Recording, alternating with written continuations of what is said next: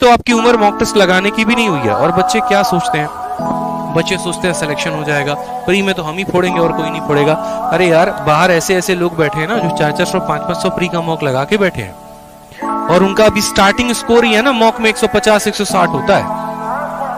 आपका starting score अभी 100 110 होगा। आप अभी कट ऑफ़ के लिए जद्दोजहद कर रहे होगे। वो कट ऑफ़ क्लियर करके बैठे हैं। उनको मेंस के लिए क्वालिफाई करना है, वो 190 के लिए बीट कर रहे हैं। तो दो लोग हैं हमारे पास। एक वो जो 130 140 लाने के लिए मर रहा है कट ऑफ़ क्लियर करने के लिए मर रहा है। दूसरा वो जिसके 130 140 तो अभी से ही बन रहे हैं, बस वो ये सोच रहा है कि किसी भी तरीके से 180 प्लस लेके आ जाऊँ, मेस में भी 180 190 लेके आ जाऊँ और एक इंस्पेक्टर पोस्ट मिल जाए। यहीं पर दो लोग हैं, दोनों की सोच अलग अलग है। तो आप खुद यहाँ से तय कर लीजिए कि सिलेक्शन किसका होगा।